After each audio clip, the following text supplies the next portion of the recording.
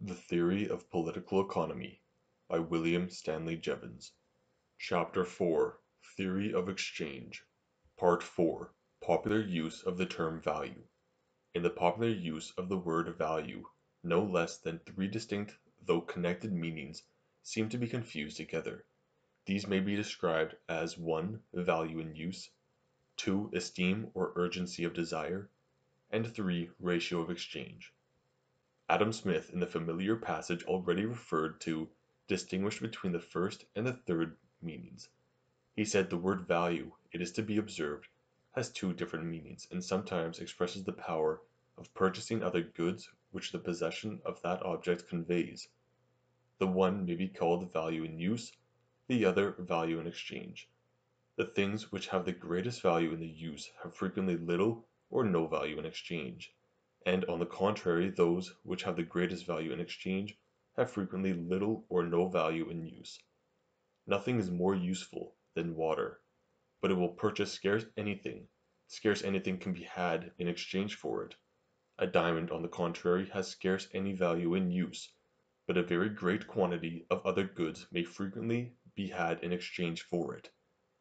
It is sufficiently plain that when Adam Smith speaks of water as being highly useful, and yet devoid of purchasing power, he means water in abundance, and that is to say water so abundantly supplied that it has exerted its full useful effect, or its total utility.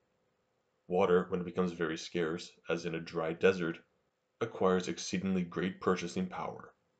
Thus Smith evidently means by value in use the total utility of a substance of which the degree of utility has sunk very low because the want of such substance has been well nigh satisfied. By purchasing power he clearly means the ratio of exchange for other commodities, but here he fails to point out that the quantity of goods received in exchange depends just as much upon the nature of the goods received as on the nature of those given for them. In exchange for a diamond we can get a great quantity of iron, or corn, or paving stones or other commodity of which there is abundance, but we can get very few rubies, sapphires, or other precious stones. Silver is of high purchasing power compared with zinc or lead, or iron, but of small purchasing power compared with gold, platinum, or iridium. Yet we might well say in any case that diamond and silver are things of high value. Thus I am led to think that the word value is often used in reality to mean intensity of desire or esteem for a thing. A silver ornament is a beautiful object apart from all ideas of traffic. It may thus be valued or esteemed simply because it suits the taste and fancy of its owner, and is the only one possessed. Even Robinson Crusoe must have looked upon each of his possessions with varying esteem and desire for more although he was incapable of exchanging with any other person. Now in this sense value seems to be identical with the final degree of utility of a commodity as defined in a previous page. It is measured by the intensity of the pleasure or benefit which would be obtained from a new increment of the same commodity. No doubt there is a close connection between value in this meaning and value as ratio of exchange.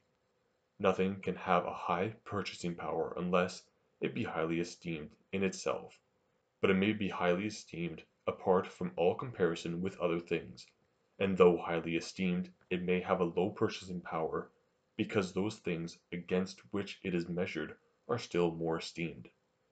Thus I come to the conclusion that, in the use of the word value, three distinct meanings are habitually confused together and require to be thus distinguished. 1. Value in use, which equals total utility. 2. Esteem, which equals final degree of utility. And 3. Purchasing power, which equals ratio of exchange. It is not to be expected that we could profitably discuss such matters as economic doctrines, while the fundamental idea of the subject are thus jumbled up together in one ambiguous word.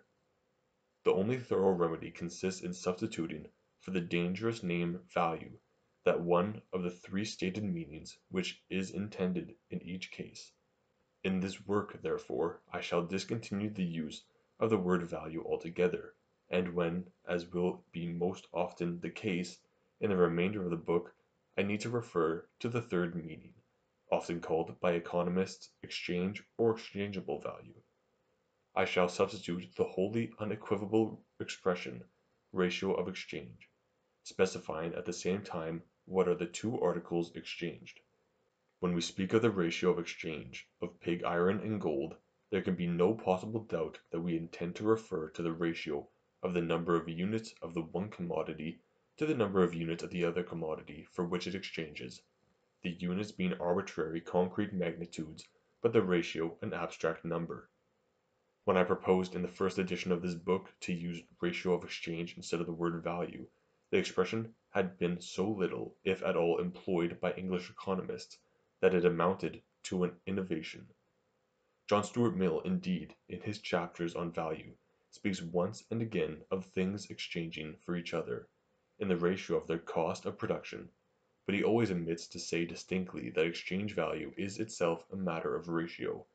As to Ricardo, Malthus, Adam Smith, and other great English economists, although they usually discourse at some length upon the meaning of the word value, I am not aware that they ever explicitly apply the name ratio to exchange or exchangeable value.